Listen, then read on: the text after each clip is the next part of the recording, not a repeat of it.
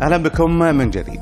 حب الشباب من أكثر الأمراض الجلدية شيوعا خاصة في مرحلة المراهقة وهو مصدر إزعاج يومي لأصحابها فما أن تلبث بالاختفاء تظهر أخرى غيرها ويمكن أن يعاني الناس من كل الفئات العمرية منها بسبب التغيرات الهرمونية فكيف يمكن معالجة هذه المشكلة وهل هي حكر فقط على الشباب؟ للمزيد تنضم إلينا من دبي دكتورة منار العزيز اختصاصية الأمراض الجلدية وتجميل البشرة. صباح الخير دكتورة واهلا بك صباح الخير. العربية. وركزي على السؤال صباح الخير. صباح الخير يا دكتورة. يسعد صباح هل هو بس حكر على الشباب راحت علينا؟ سؤال مهم جدا. لا هو اسمه حبوب الشباب ولكنه اسم خاطئ لأنه أيضا يصيب الفئات العمرية المتقدمة. الاسم خاطئ لأن إحنا أول ما لاحظناه لاحظناه في سن الشباب وبالتالي سموه حبوب الشباب. شفنا حالات حبوب شباب في سن ال 30 وال 40 وال 50 وال 60 مم. طيب آه، يمكن بيثير الفضول هذا الموضوع إذا أشخاص مثلا في سن المراهقة لم تظهر عندهم هذه المشكلة. ممكن أن تظهر على كبر بسبب مشاكل هرمونية أو غيرها من الأمور؟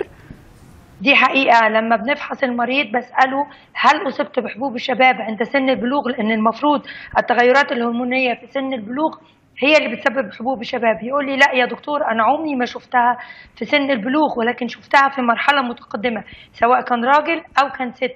وغالبا بتظهر في بداية العقد الثالث عند 30 سنة وطلوع يعني من بعد من بعد الثلاثين تظهر عليهم؟ مظبوط طيب. في سن ال 25 ممكن تيجي وبداية من سن ال 30 وكمان كل ما نتقدم بالعمر. طيب كيف تتكون؟ وبالتالي أيضا أين؟ يعني هل تكون دائما في الوجه أم قد تظهر في أماكن أخرى؟ مثلا في الجسم دكتورة؟ الظهر. سؤال آه، ده سؤال مهم جدا. حبوب الشباب لو قلنا إيه الأسباب ليها؟ الأسباب بيكون جين أنت بتورثه من الأجداد زي ما بنورث جين مثلا بيتسبب في حدوث مثلا بعض الحصوات بالكلى أو بعض الحصوات بالمرارة. فهو عبارة عن جين. ولحد النهارده الطب ما قدرش يعالج الجينات وإلا كنا اتخلصنا من أمراض كتيرة وإنما بنعالج لحد دلوقتي عرض الجين وبالتالي بيفضل معانا الجين مدى الحياة وتحت ظروف معينة ممكن إن هو ينشط ويسبب حبوب الشباب وعلاج الجين مش موجود ولكننا نقدر نعالج العرض اسألني كده وقول لي يعني يا دكتورة هل يوجد علاج لحبوب الشباب للأسف لا يوجد ولكن يوجد ما يسمى ال control أو السيطرة على حبوب. أيوه. الشباب طيب دكتورة هل من فيتامينات أو أدوية معينة قد تتسبب في ظهور هذه المشكلة عند بعض الأشخاص؟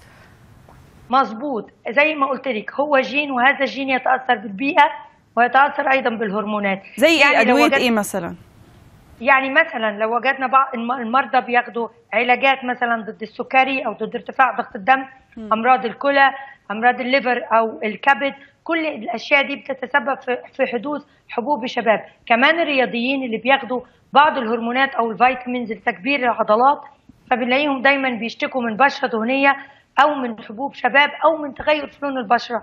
مم. ويهمني هنا إن أنا أقول كلمة حبوب شباب مش معناته بالضرورة ظهور حب صغير وإنما قد ممكن يكون بعض القشور أو الزيوت الز- الشديدة اللي بتفرزها البشرة سواء كان في الوجه أو في الشعر وسألتوني كمان هل بس الوجه هو اللي بيتأثر ممكن نلاقيها في مقدمة ال- الظهر أو الصدر أو عند الكتوب قد تظهر أيضا في المناطق الحساسة ومناطق أخرى من الجسم.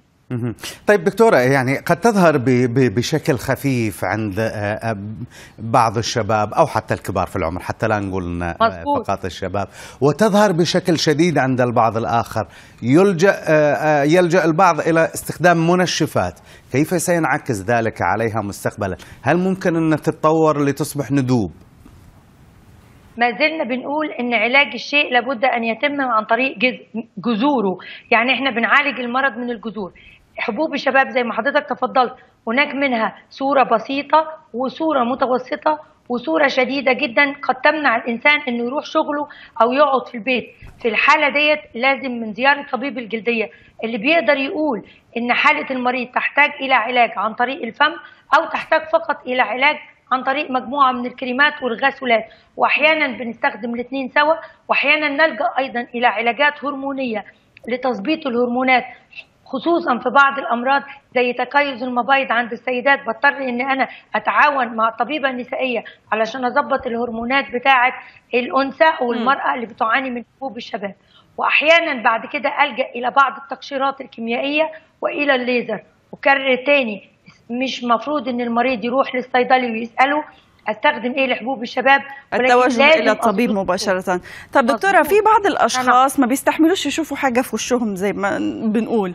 يعني تظهر بعض الحبوب أو رؤوس سوداء رؤوس بيضاء وبيحاولوا ان هم يتخلصوا منها ومن المواد الدهنية المتواجدة في هذه الحبوب.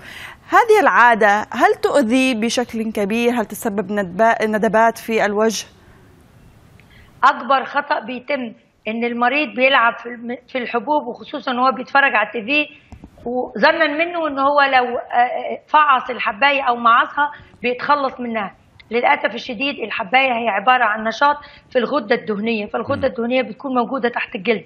ال- المريض اللي بيلعب في الحباية خصوصا مرضى حبوب الشباب الصغار والكبار كمان ساعات بيكون عندهم إدمان إن هم يمعصوا الحباية. بيحصل إنها بتنفجر تحت سطح الجلد وبتسبب مشكلات قد يحدث آه، التهاب بكتيري يؤدي إلى حدوث آه، آه، بعض الخراجات أو بعض ال- ال- الالتهابات اللي مليانة قيح وموجودة في البشرة. فأنا بنهى الناس عن إن هم يلجأوا لده. وكل المرضى بتوعي عارفين إن أنا بقول لهم إذا لعبتوا في حبوب الشباب ما تجوش الزيارة اللي بعد كده. طيب دكتورة منار يعني أود أن أسأل هل لها يعني فترة زمنية معينة دورة معينة بأنه تبدأ لمدة ثلاثة أشهر أربعة أشهر سنة وتنتهي هذه الحبوب أو هذه التجمعات الدهنية؟ سؤال ممتاز. زي ما قلنا مراجعة سريعة تبدأ في سن البلوغ أحيانا لا نراها في سن البلوغ نراها في مراحل متقدمة. هذا الجين يتأثر بالبيئة بمعنى أن لما يكون عندنا ضغط شديد جدا أو stress في الشغل أو في الحياة قد تظهر حبوب الش- الشباب خصوصا قبل الدورة الشهرية خصوصا قبل مثلا الامتحانات والاختبارات. الواحد مع الستريس في المذاكرة ممكن تظهر له حبوب الشباب قبل الاستعداد لشيء معين. عند تناول بعض الأدوية عند حدوث بعض ال- ال- الأمراض زي تكيس المبايض ولازم كمان نفحص ساعتها ونتجه للطبيب لأنها قد تعكس مرض داخلي جوه الجسم مش بس مجرد إنها بتظهر على الجلد. حينما تظهر حبوب الشباب بناخد العلاج المظبوط. قد تستمر إنها ما نشوفهاش لمرة تانية لمدة ست شهور مم. سنة سنتين ثلاث سنين أربع سنين مدى الحياة. لا نعلم قد تتحسن أثناء الحمل قد تسوء أثناء الحمل. للأسف الشديد إحنا ما بنبقاش عارفين طبيعة المريض إيه. ولكن المراجعة طيب. الاستخدام الجيد لمستحضرات التجميل بيفيدنا كثيرا. دكتورة هناك بعض الاستفسارات من المشاهدين على تويتر. ما هي أفضل طريقة للتخلص من البثور السوداء على الوجه؟ أنا دايما بقول أول ما بتلاقي حبوب ظاهرة على وشك التوجه إلى طبيب الجلدية. طبيب الجلدية بينصحك بإجراءات الفيشيالز اللي بعض الناس بيروحوا يعملوها من حالهم في الصالونات. صورة دورية لو أنا عملت الفيشيال ده أو تنظيف البشرة والتنظيف العميق أفضل إنه يكون تحت إشراف طبيب وافضل ان هو يتعمل مرة شهريا وليس أكثر من هذا من مرة إلى مرتين لإزالة الحبوب السوداء. ثم إن أنا بطلب من الطبيب يقول لي الكلينزر أو الغسول المناسب للبشرة اللي بستخدمه تنظيف البشرة مهم جدا. كريم بحطه قبل ما أنام وكريم بحطه الصبح. وإذا احتاجنا إلى بعض المضادات الحيوية أو احتاجنا إلى حبوب الرؤكيوتان المشهورة اللي بتنشف الغدد الدهنية طيب. بيكون ده تحت إشراف الطبيب. دكتورة باختصار أريد أن أعلم ما هو سبب تكون الثالول المزعج على الجلد وهل آه، ربطها بسلك للتخلص منها مضر؟ لا أقصد لا أعرف ماذا يقصد بربطها بسلك هقول لك السواليل الجلدية النتوءات البسيطة اللي إحنا بنقول عليها مسمار الجلد أو بنقول عليها الصنطات أو السلولات الجلدية طيب. بيكون سببها مجموعة من الفيروسات بتكون موجودة في الهواء بتؤدي إلى حدوث هذه السواليل وقد تنتشر في الأصابع أو عادية. آه، أجزاء الجلد مم. بعض الناس بتجيب خيط رفيع أو بتجيب فعلا سلك رفيع وبتربطها تقطع عنها الدورة الدموية فبتنشف وبتقع أحيانا بنستخدم دوت من العلاجات كنا بنستخدمها بالزمانات آه، وفعلا بتجيب نتيجة. دلوقتي طبعا الليزر والكي الكهربائي والعلاج بالتبريد بيخلصنا منها مش فوريا محتاجين السلك. في حاجة.